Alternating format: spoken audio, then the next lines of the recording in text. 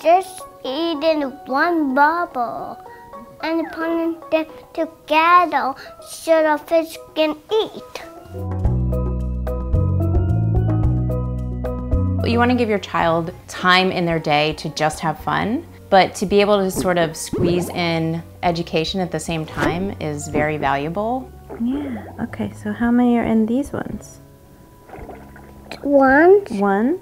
It was interesting to see her figuring out how to put the numbers together. I've never seen her do any sort of math before.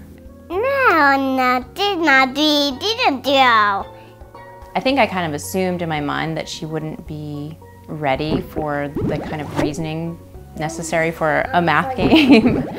but no, I, she was clearly ready. Now I know I can kind of push her a little bit. I did it.